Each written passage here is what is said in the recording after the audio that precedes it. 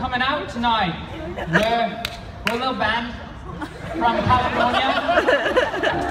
We, uh, we go by the name of Choroid Play. Check us out on social media. That's co at Choroid Play. I'm serious. Check us out on Instagram at C-H-O-R-O-I-D P-L-A-Y. Instagram Choroid Play. All right. We are very serious about this one, folks. We love you. All right. So we're going to be playing a, a song from our debut album. It's called The Optometrist. It's, it's about love and a little bit of optometry. But mostly, it's about optometry. There we go.